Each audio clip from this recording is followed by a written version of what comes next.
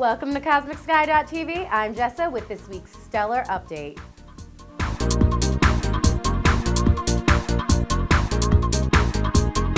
Cancer, you will not only want to get out of your shell this week, you might be tempted to break the damn thing. That's because you'll be in high demand and in serious public view. Mercury, the planet of communication, is in the area of your chart that rules success. All sorts of glory is coming to you in terms of communication, projects, or any contracts you've got going on or negotiating or sales associated with your career and reputation. I know it's a lot of stuff.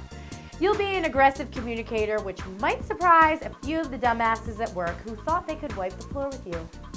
Not happening. The new moon in your career sector this week also proves that you are the one who's getting all the credit. Awesome. Keep checking by CosmicSky.tv to find out what the stars have in store for you.